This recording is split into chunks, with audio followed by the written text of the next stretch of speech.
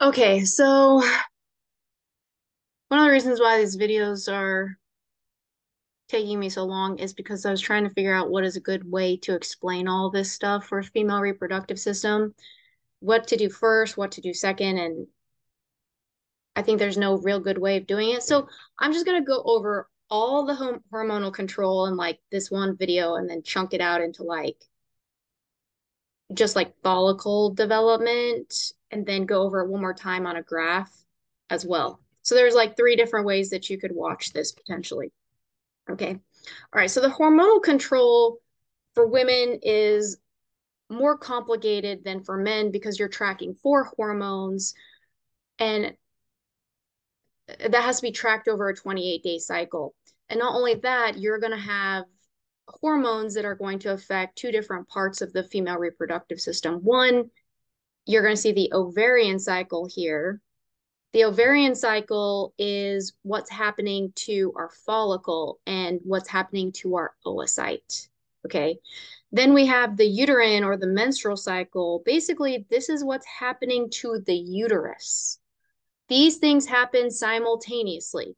This is why there are days on this timeline. So, like day one, what's happening in your ovary, what's happening in your uterus, okay? Or in a woman's ovary and a woman's uterus, if it's not you personally. So, let's track what's going to happen and like just kind of go through what's happening at each stage. So, we're going to start at day one, okay? So, for day one, this is the first day of menstruation. Menstruation meaning the first day of a woman's period.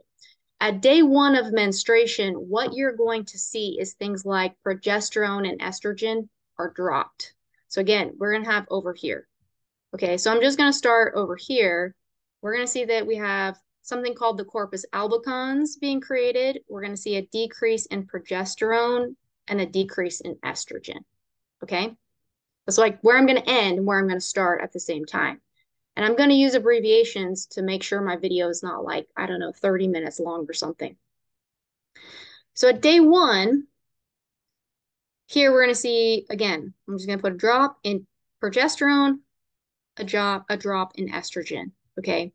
Because progesterone and estrogen drop, what we're going to see is that results in the hypothalamus, which is going to secrete GnRH. GnRH is going to target, remember GnRH is gonadotropin releasing hormone. It targets the anterior pituitary gland to release gonadotropins. There are two of them. One is FSH or follicle stimulating hormone, and the other one is LH or luteinizing hormone. So you have to follow these two hormones separately. FSH and LH only target the ovary. Okay, they're only targeting the ovary. So they only target the ovarian cycle. When you release FSH, what you're going to see is that FSH is going to help us pull a primordial follicle or a group of primordial follicles.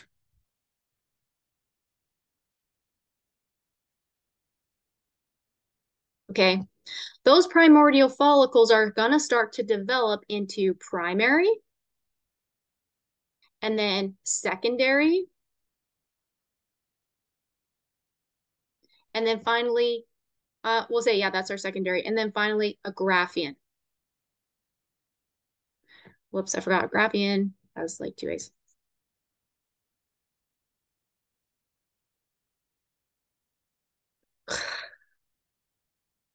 like half of this is just me erasing sometimes. Graafian. or a graph to a Graafian follicle. So you want to see that FSH, what FSH does is it targets the actual development of the follicles that are going around the oocyte. Okay. At this time, the oocyte's going to continue to go through meiosis. So you're going to finish meiosis one and you're going to start meiosis two and you're going to stop meiosis two. So here you have like a primary oocyte okay? And then about, and here you should have a secondary oocyte, okay? That's what FSH is gonna do. It makes the follicle go around thicker. What LH is gonna do, So FSH targets all these things. What LH does is LH is also going to target the follicle cells. Okay. What that causes is the follicle cells to release estrogen. And estrogen is going to feed back in two ways. One way is a negative feedback system. That's the first thing. Okay, so just imagine, let's let's do this real like for real so you guys understand. When we have our primary and our secondary oocytes and we're and LH is causing the release of estrogen here. We'll make estrogen uh not green, like in this, I don't know. Per let's do purple. Okay estrogen. Estrogen is going to first feedback like this negatively, and it turns off GnRH. It also will turn off FSH and LH. Why? The primary and the secondary follicles are starting to get bigger and bigger and bigger but I want to make sure I only have one Graafian follicle. So I'm going to turn off FSH and LH until I get my Graafian follicle, basically. Well, okay, let me rephrase that. I'm going to turn off FSH and LH so that only the follicle that is most mature continues to go through development. So what ends up happening here is that the Graafian follicle starts to release its own estrogen without LH. And as a result of that, it's going to create a positive feedback mechanism, which I'll make in purple also, but just a, like a thicker line potentially. So as soon as the Graafian follicle is the one that is selected, basically because there's no other follicles that are selected, it's going to create a positive feedback loop. So you want to think about the negative feedback loop comes first so that we only make sure that one follicle develops into a Graafian follicle. As the Graafian follicle increases estrogen, so here if we have an increase in estrogen from the dominant or Graafian follicle,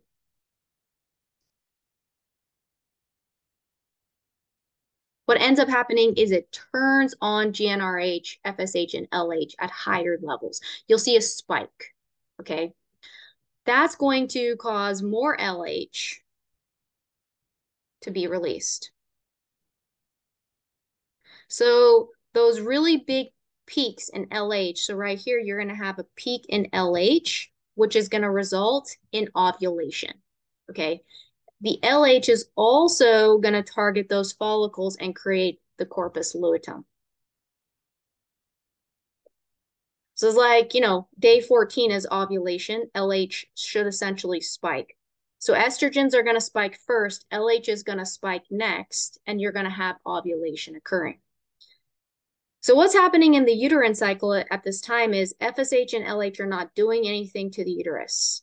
But as soon as you start to increase your estrogen levels here, estrogen is actually going to target the endometrial lining and you're going to start to thicken that lining just a little bit, okay? This is called the proliferative phase. So you're going to have the endometrial layer start start to thicken a little bit more. So you're still going to have thickening a little bit more, okay? At the rupture of the oocyte, of the secondary oocyte, what is going to end up happening is all of these levels are going to start to dip. Estrogen is going to start to dip, FSH is going to start to dip, LH is going to start to dip. The corpus luteum, though, is really going to make sure everything turns off again. So the corpus luteum gets created, and what ends up happening is the corpus luteum is no longer going to target the ovary with its hormones. Instead, it's going to target the endometrial lining. Okay. So what we see is the corpus luteum makes progesterone and estrogen at higher quantities. That causes the secretory phase or the thickening of the endometrial lining even more for two more weeks. We want to give the endometrial lining two weeks to thicken so that we can have implantation of the uh, of of the embryo if the embryo is created because of fertilization, essentially. Okay. The other thing that's going to happen is progesterone and estrogen are also going to have a negative feedback. So as soon as progesterone and estrogen go higher, so here we're going to see an increase in progesterone and an increase in estrogen. And what those two things do is they're going to help turn off this positive feedback mechanism that was going on. It's going to turn off FSH, it's going to turn off LH.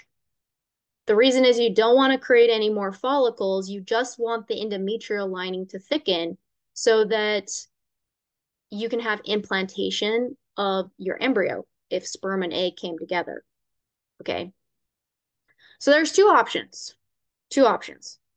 For this, you know, 12, I'm sorry, that for this two week period. So from ovulation to day one again, you can have two things happen. Number one, no fertilization. Okay, I didn't mean make that red, but I did. If you have no fertilization, you make the corpus albicans.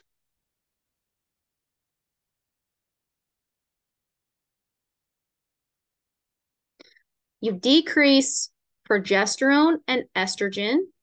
You start menstruation.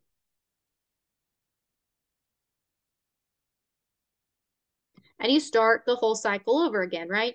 I turned off that negative feedback loop. So I turned back on GnRH and FSH. So I start all over again, creating a new follicle. Okay. Number two is fertilization. If fertilization happens, I have to make sure I have an increase in progesterone and estrogen. I need to make sure my endometrial lining remains thick. I should change this. Okay, I want to keep progesterone and estrogen.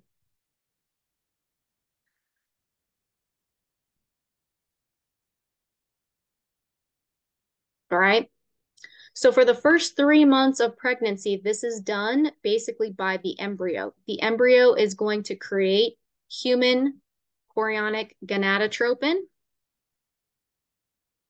So we're going to create human gonadotropin, human chorionic gonadotropin, which is a hormone, and human chorionic gonadotropin targets